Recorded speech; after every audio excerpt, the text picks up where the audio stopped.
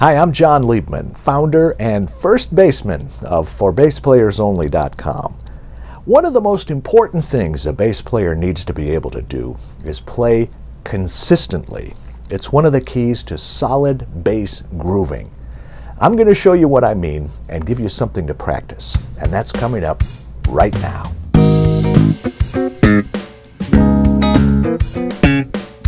Keep in mind what bass players do. We lock in with the drummer and we lay down the foundation for the band. We set the tone. We make the music feel good. Oftentimes, very oftentimes, that involves playing the same thing over and over. And that's not a bad thing. That's not a boring thing. That's a good thing. That's a fun thing. Think about how important it is and how great it is that we're the ones who provide that pulse, that steady rhythm that's so vital to the music. I wrote a little groove to demonstrate. It's a simple rock pattern over a common chord progression. Nothing fancy here. No dazzling, fiery, acrobatic displays. That's the point.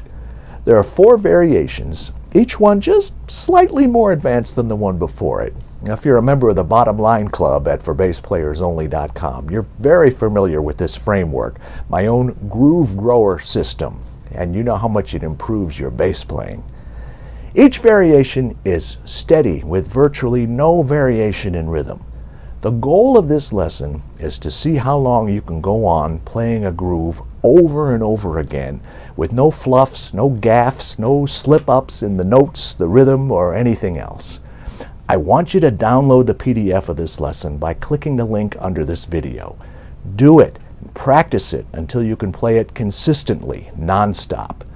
I'm going to demonstrate it for you now. Watch and listen, then I'll come back with some must-do action items for you, so don't go anywhere.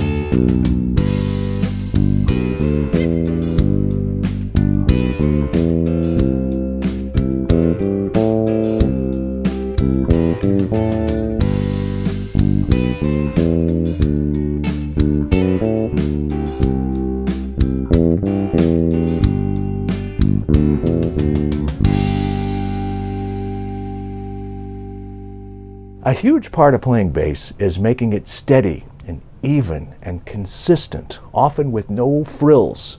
Sometimes it becomes almost hypnotic. See if you can just get lost in the groove. You'll make the band sound better, and that'll make the music feel better. Download the PDF and practice this lesson. Just click the link below this video, and when you do practice it, think steady, consistent, forever if need be. And be sure to subscribe to the For Bass Players Only YouTube channel. There's a lot of stuff here that will make you a better bass player. Until next time, I'm Jon Liebman. Let's play bass.